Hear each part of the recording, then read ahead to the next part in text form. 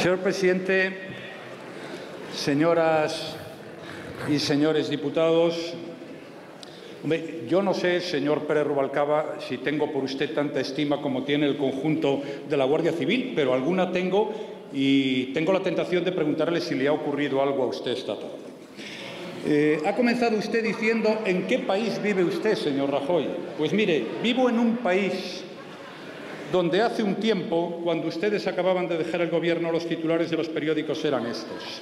Máxima tensión, la recesión se agrava, España entra en situación límite, la prima se desboca a 610 puntos y empuja a España al rescate total, Bruselas no se fía de las autonomías y el mercado empuja hacia el rescate y suenan todas las alarmas.